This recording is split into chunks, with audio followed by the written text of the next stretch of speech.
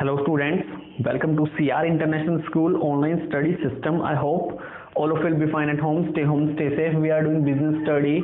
ठीक है? Last time हमने इंश्योरेंस का जो इंट्रोडक्शन फीचर्स वगैरह थे, वो सब पूरे कर लिए थे। अब हमें life insurance fire insurance marine insurance theft insurance इन सबको हमें डिटेल में पढ़ना है। तो सबसे पहले हम स्टार्ट करते हैं लाइफ इंश्योरेंस से। ठीक है? लाइफ इंश्योरेंस देखिए लाइफ इंश्योरेंस में होता क्या है? एक पर्सन जो होता है, अपनी पूरी लाइफ होल लाइफ प्रीमियम पे करता है, ठीक है? प्रीमियम पे ही करता है। उस प्रीमियम के बदले उसकी जो लाइफ है, उसे अश्योर कर दिया जाता है। बीच में अगर कोई मिस हैपनिंग हो जाए, उसकी डेथ वगैरह हो जाए तो फिर उसका कंपनसेशन का अमाउंट उसकी फैमिली को पे कर दिया जाता है। कोई मिस हैपनिंग ना हो पूरे साल, यानी कि पीरियड पूरा का पूरा एक्सपायरी हो जाए तो पीरियड के बाद उसे मिल जाता है। तो लाइफ इंश्योरेंस से जो रिस्क है वो काफ़ी हद तक रिड्यूस हो जाता है। देखिए, कोई पर्सन मरता है तो उस पर्सन को तो हम वापस नहीं ला सकते। लेकिन जो इकोनॉमिक लॉस होता है, उसकी डेथ से, उसकी फैमिली को, उसे ज़रूर कंपनसेट किया जा सकता है with the help of life insurance तो लाइफ इंश्योरेंस बहुत इंपॉर्टेंट टाइप ऑफ़ इंश्योरेंस होता है बेटे। ठीक है, क्योंकि इसके ज़रिए जो पर्सन होता है, वो अपनी लाइफ को अश्योर करता है, अपनी फैमिली को सुरक्षित रखता है और अपनी फ्यूचर के लिए इन्वेस्टमेंट भी जोड़ लेता है। इसमें दोनों ही एलिमेंट आपको देखने को मिलेंगे protection as well as investment तो देख लीजिए under life insurance the insured pay sum fix instalment तो आपको फिक्स इंस्टॉलमेंट पे करनी पड़ती है in the form of premium premium के रूप में. In exchange of this premium इस प्रीमियम के बदले the insurer promise to pay a certain amount either at the expiry of the fix period और at the death of the insured तो इस premium के बदले में जो इंश्योरेंस कंपनी होती है, जिसे हम इंश्योरर कहते हैं इंश्योरर यानी इंश्योरेंस करने वाला इंश्योर्ड इंश्योरेंस लेने वाला, वो आपको या तो मिस हैपनिंग पर कंपनसेशन पे करता है या फिर after the expiry of payer whichever is earlier जो पहले होता है उस पे। Life insurance involve both the protection and investment element तो उन्होंने बता दिया बेटे कि इसमें दोनों ही एलिमेंट मौजूद होते हैं protection as well as investment receiving the sum assured at the expiry of a certain period is an investment element भाई 20 साल का पीरियड होता है। 20 साल के बाद जो आपको टोटल लंप सम अमाउंट मिलता है that is kind of investment you have made for 20 years ठीक है 20 साल तक जो आपने इन्वेस्टमेंट की है, उसका परिणाम है, उसका रिवॉर्ड है जो आपको ये मिलता है। In India the life insurance is handle by the life insurance corporation of India तो इंडिया के अंदर एल इसे हैंडल करती है। अब देखिए ऑब्जेक्टिव ऑफ़ लाइफ इंश्योरेंस तो ऑब्जेक्टिव ऑफ़ लाइफ इंश्योरेंस दोनों ही तरह के बेटे। उद्देश्य क्या है भाई लाइफ इंश्योरेंस कराने का? सबसे पहला उद्देश्य आपका होता है बेसिकली ठीक है आपको प्रोटेक्शन प्रोवाइड कराना होता है? यानी प्रोटेक्शन सबसे पहला उद्देश्य प्रोटेक्शन सुरक्षा और सेकंड क्या होता है? इन्वेस्टमेंट तो भाई लाइफ इंश्योरेंस के बाद सबको पता है, बीच में अगर कोई भाई मिस हैपनिंग हो जाती है तो उसकी फैमिली को, उसकी फैमिली को ये कंपनसेशन पे किया। जाता है। So if any member of the family specially the bread earner bread earner यानी कि जो हेड ऑफ़ फैमिली है, जो सारा का सारा खर्चा वो अकेला पर्सन कमा रहा है bread earner for that family if he dies the family has to face a lot of problem तो अगर ब्रेड अर्नर ही मर जाए तो बहुत ज़्यादा प्रॉब्लम आ जाती है पूरी फैमिली को। ठीक है दो it is impossible to bring back that person उस पर्सन को लाना तो भाई पॉसिबल नहीं है, लेकिन जो इकोनॉमिक लॉस अराइज होता है उसकी डेथ से, उस लॉस को हम मिनिमाइज कर सकते हैं with the help of insurance after the death of the insure this family receive the sum amount तो बेटे, उसकी डेथ के बाद जो फैमिली बचती है, उसे वो सारा का सारा अमाउंट मिलता है, ताकि उनकी जो रेस्ट ऑफ़ लाइफ है वो कंफर्टेबली बीत सके, आरामदायक तरीके से बीत सके। Keeping in view that their family don't face any problem after their death people take the life insurance policy तो इन्हीं चीज़ों को देखते हुए जो पर्सन है वो लाइफ इंश्योरेंस पॉलिसी लेते हैं। सेकंड है इन्वेस्टमेंट ऑब्जेक्टिव तो बेटे फिक्स पीरियड के बाद लगभग 20 साल तक आपको ये जमा करना पड़ता है प्रीमियम 20 साल के बाद आपको, ठीक है अमाउंट वापस मिल जाता है। तो एक तरह से इन्वेस्टमेंट होता है। डबल आपको अमाउंट वापस मिलता है। दो लाख जमा किए, चार लाख मिलते हैं आपको। So life insurance not only provides protection from future risk, but it is also a good medium of investing for the people. तो इन्वेस्टमेंट का भी एक अच्छा ज़रिया माना जाता है। The insured invest small amounts in the form of premium with the insurance company जो इंश्योर्ड होता है, वो स्मॉल अमाउंट के साथ प्रीमियम स्टार्ट करता है। If the insure die before the date अगर उसकी डेथ हो जाए then the nominee of deceased get sum amount more than actually invested तो जो नॉमिनी होता है, वो इन्वेस्टेड अमाउंट से ज़्यादा उसे मिलता है तो हो गया ना इन्वेस्टमेंट एलिमेंट ठीक है? तो एग्ज़ाम्पल देखिए person takes a life insurance his maturity period is for ten year कि एक पर्सन ने लाइफ इंश्योरेंस पॉलिसी खरीदी, इसका मेच्योरिटी पीरियड दस साल है। The annual premium for this policy is four thousand annual premium चार हज़ार है। And the sum assured is fifty thousand sum assured कितना मिलेगा? पचास हज़ार आपको मिलेगा। After paying the premium for 10 years, the insured die. After this, the death of the total, he will receive 50000 plus bonus while he had paid only sixteen thousand तो इस तरह से चार साल बाद अगर उसकी डेथ हो जाती है तो चार को चार से मल्टीप्लाई कीजिए, सोलह हज़ार उसने पे किया, जबकि सोलह हज़ार के बदले में उसे पचास हज़ार मिल जाता है। ठीक है? So on the other hand if the insured live for ten year अगर वो पूरे दस साल जीता है तो टोटल अमाउंट जो आपको मिलता है वो पचास हज़ार तो आपको मिलेगा ही मिलेगा। प्लस सत्तर परसेंट बोनस भी आपको मिलेगा, जो कि पचास हज़ार का सत्तर परसेंट थर्टी फाइव थाउज़ेंड हो गए।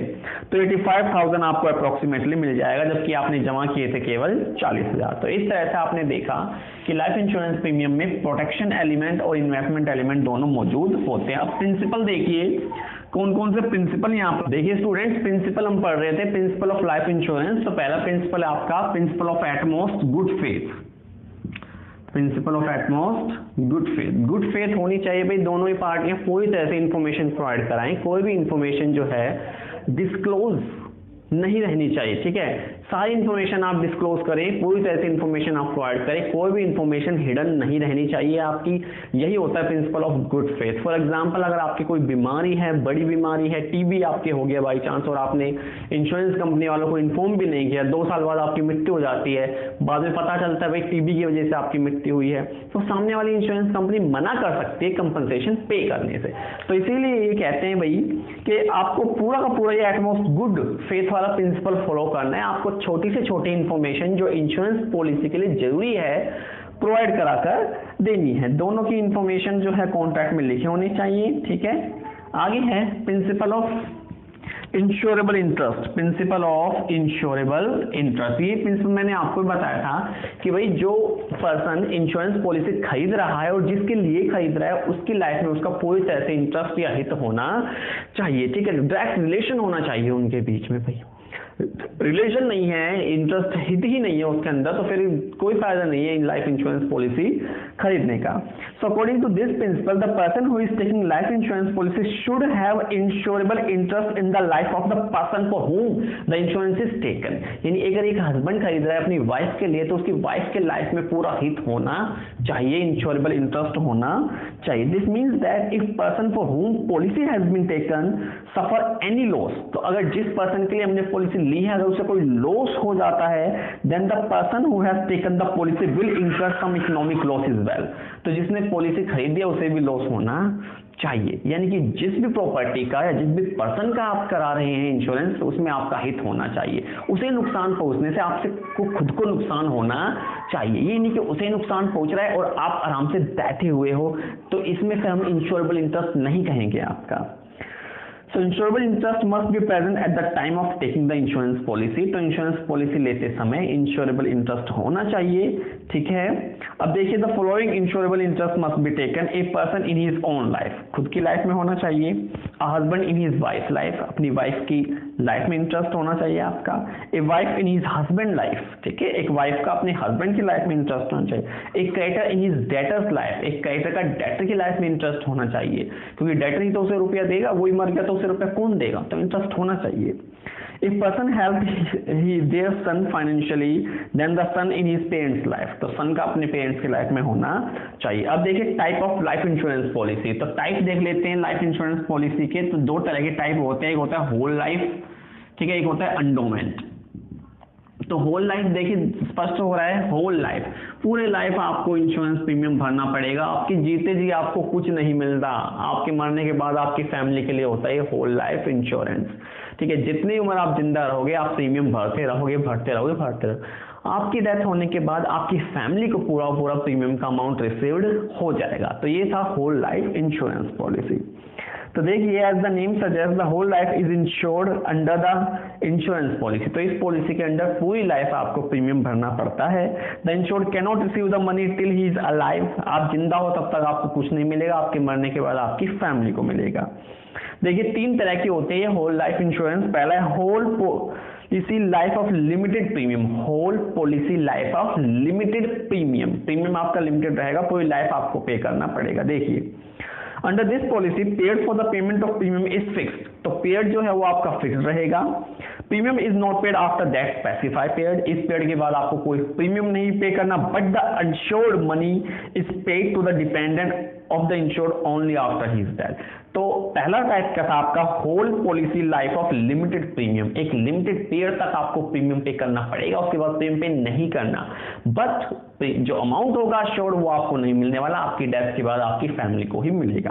सेकंड है ordinary whole life policy ordinary whole life policy so under these policies the insured pays the premium throughout his life तो आपको पूरी लाइफ के दौरान ही, देखिए, पहले वाले में आपको एक फिक्स पीरियड तक प्रीमियम पे करना पड़ता था। अब पूरी लाइफ पे करना पड़ रहा है ऑर्डिनरी में।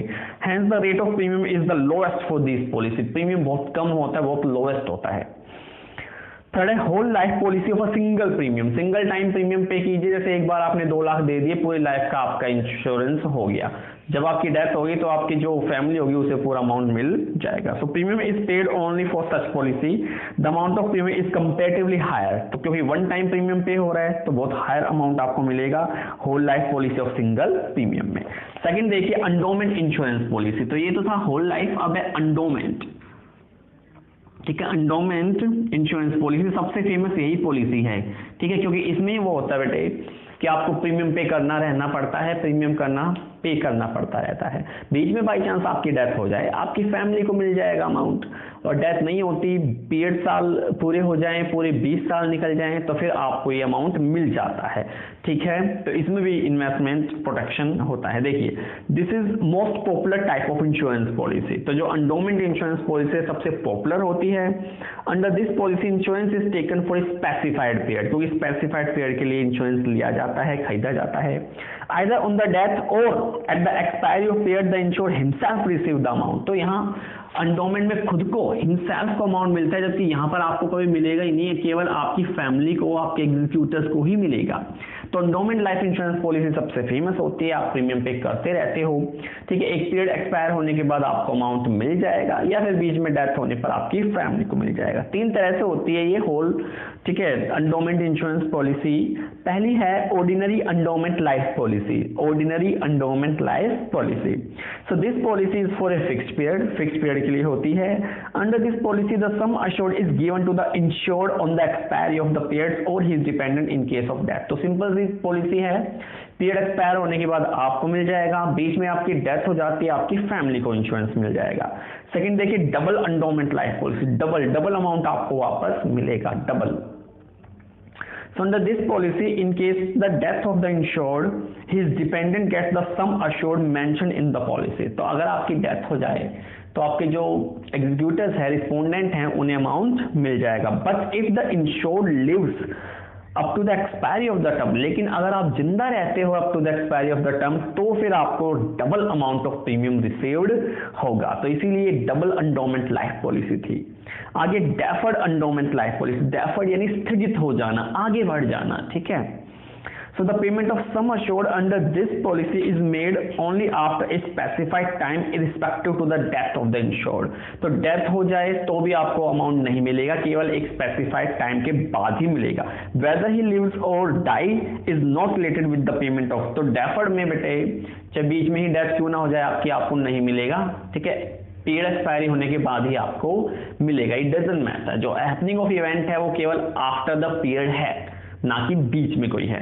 तो पेड़ एक्सपायर होगा, तभी आपको मिलेगा, उससे पहले आपको नहीं मिलेगा। तो ये था आपका लाइफ इंश्योरेंस प्रीमियम अगला आपके पास आ रहा है फायर इंश्योरेंस ठीक है? आग से भी भाई, आग से जब चीज़ें जल जाती है, ठीक है, झुलस जाती है तो बहुत नुकसान होता है। आग बेटे बहुत ज़्यादा नुकसान करती है हम लोग के लिए, ठीक है? तो इसीलिए अपनी प्रॉपर्टी को जलने से बचाने के लिए फायर इंश्योरेंस कराया जाता है। देखिए meaning of fire insurance fire insurance means an insurance contract in which the insurance company in exchange of fix premium promise the insure to compensate if the property is damage through the fire तो ये एक ऐसा insurance contract होता है जिसमें insurance company एक fixed premium लेने के बाद आपको प्रॉमिस करती है कि आपको एक सम अश्योर्ड कंपनसेट के रूप में दे दिया जाएगा। अगर आपकी प्रॉपर्टी की हानि आग से होती है तो ठीक है? तो ये था आपका फायर इंश्योरेंस जिसमें अगर कोई लॉस होता है बाय फायर फायर की वजह से तो फिर एनुअल प्रीमियम पे करने के बाद आपको वो मिल जाता है, उसका कंपनसेशन मिल जाता है। ठीक है? तो ये था आपका फायर इंश्योरेंस इसके अब एक बार फीचर देख लेते हैं। देखिए रिटर्न कॉन्ट्रैक्ट तो fire insurance is a return contract और एक रिटर्न कॉन्ट्रैक्ट होता है between the insured and the insurer insured जिसका प्रीमियम हुआ है इंश्योरर करने वाला। सेकेंड टू पार्टीज़ तो बेटे in this contract there are always two parties तो हमेशा दो पार्टियाँ होती हैं फायर इंश्योरेंस में। ठीक है the insured and the insurer आगे repayment of sum assured is not necessary ठीक है? आपको रीपेमेंट नहीं मिलेगी किसी भी सम अश्योर्ड की, ठीक है? ये नहीं कि भाई आपने चार पाँच साल तक फायर इंश्योरेंस करा लिया तो उसके बाद आपको रुपया मिलेगा। नो अगर आपकी प्रॉपर्टी डैमेज होती है by fire loss by fire अगर होता है तो ही आपको प्रीमियम का अमाउंट मिलेगा। अदरवाइज़ आपको कोई अमाउंट नहीं मिलेगा। तो यहाँ पर याद रखिएगा कि आपको सम अश्योर्ड वापस मिले it is not necessary at all ठीक है? Only in the case of fire only in the case of loss of property by fire तो ही आपको अमाउंट मिलेगा अदरवाइज़ नहीं मिलेगा. Period of insurance the insurance can be maximum for one year generally जो fire insurance किया जाता है, वो एक साल के लिए किया जाता है. So the premium is paid on a lump sum basis ठीक है? एक बार इकट्ठा आपको पे कर दिया जाता है. It is a contact of indemnity yes fire insurance के अंदर प्रिंसिपल ऑफ़ इंडेमनिटी या कॉन्ट्रैक्ट ऑफ़ इंडेमनिटी अप्लाई होता है। इंडेमनिटी यानी कि क्षतिपूर्ति।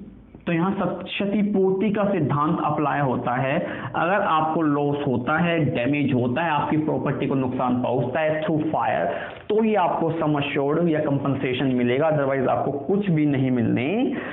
वाला। So this means that the insure cannot be benefited from fire insurance he cannot take the compensation more than the sum assure sum assure से ज़्यादा compensation आप नहीं ले सकते। फॉर एग्ज़ाम्पल देखिए person gets his shop insure for fifty thousand उसने अपनी shop को पचास हज़ार का इंश्योरेंस कराया। तो मैक्सिमम उसे पचास हज़ार ही मिलेगा। अगर उसका लॉस अस्सी हज़ार हो जाता है तो भी उसे अस्सी हज़ार नहीं मिलेगा। After some time he shop catches the fire this fire cause him loss of thirty thousand तो उसने पचास हज़ार का कराया था बीमा। तीस हज़ार का नुकसान हुआ है तो भाई तीस का हुआ है तो तीस ही उसे मिलेंगे, पचास नहीं मिलने वाले। If loss is seventy thousand अगर लॉस सत्तर हज़ार का हो जाता तो उसने इंश्योरेंस पचास का कराया तो भी केवल पचास ही मिलते, सत्तर नहीं मिलते। सिक्स देखिए ओनली प्रोटेक्शन एलिमेंट देखिए लाइफ इंश्योरेंस में तो दोनों एलिमेंट मौजूद थे प्रोटेक्शन भी और इन्वेस्टमेंट भी, लेकिन यहाँ केवल प्रोटेक्शन एलिमेंट ही मौजूद रहता है। कोई इन्वेस्टमेंट यहाँ पर आपके लिए नहीं की जाती। Use the word insurance life insurance में तो एश्योरेंस वर्ड का यूज़ ज़रूर होता है। लाइफ इंश्योरेंस में किसका यूज़ होता है? एश्योरेंस आप अश्योर्ड होते हो कि आपको अमाउंट वापस मिलेगा ही मिलेगा। बट फायर इंश्योरेंस में केवल इंश्योरेंस वर्ड का यूज़ होता है। अगर आपका लॉस होता है तो ये आपको अमाउंट मिलेगा अदरवाइज़ आपको नहीं मिलेगा। Surrender value So in fire insurance, if the fire insurance policy is cancelled before the maturity, the insurance company does not refund the amount of insure. तो अगर फायर इंश्योरेंस में आप समय से पहले अपनी इंश्योरेंस पॉलिसी कैंसिल कर देते हो प्रीमियम ना पे करके तो आपको कुछ भी नहीं मिलने वाला। ये नहीं कि आपको सरेंडर वैल्यू कुछ मिलेगी। नो no, नथिंग कुछ नहीं आपको मिलेगा। Hand surrender value of such insurance is zero तो सरेंडर वैल्यू इसकी क्या होती है हमेशा? ज़ीरो होती है। पर्सनल कॉन्टैक्ट लास्ट पॉइंट देखिए at the time of giving the fire insurance the character of the insured is check carefully तो आपका करेक्टर भाई चेक करना बड़ा ज़रूरी है। कोई ऐसा पर्सन नहीं होना चाहिए जो जानबूझकर अपनी प्रॉपर्टी में आग लगा दे इंश्योरेंस पॉलिसी से पैसा लेने के लिए। तो ऐसा कभी नहीं होना चाहिए। Characterless people are not given insurance characterless लोगों को इंश्योरेंस नहीं देना चाहिए भाई। Such type of people can damage their property by themselves for claiming the compensation तो इन्होंने बताया भाई कि ऐसे लोग खुद अपनी प्रॉपर्टी को नुकसान पहुँचा सकते हैं क्लेम करने के लिए तो ऐसे लोगों का हमें इंश्योरेंस नहीं करना चाहिए ठीक है hence fire insurance is a personal contact and it cannot be transfer without the prior approve insurance company तो एक पर्सनल कॉन्टैक्ट होता है आप किसी और थर्ड पार्टी को ये कॉन्टैक्ट ट्रांसफ़र नहीं कर सकते बिना इंश्योरेंस पॉलिसी या बिना इंश्योरेंस कंपनी की परमिशन लिए बिना। For example if a person takes fire insurance policy of his shop, then and then transfer it to the capitalized person, the insurance company can refuse to transfer the policy. तो insurance company policy को मना कर देगी बेटे तो ये था आपका fire insurance और इसके features thank you very much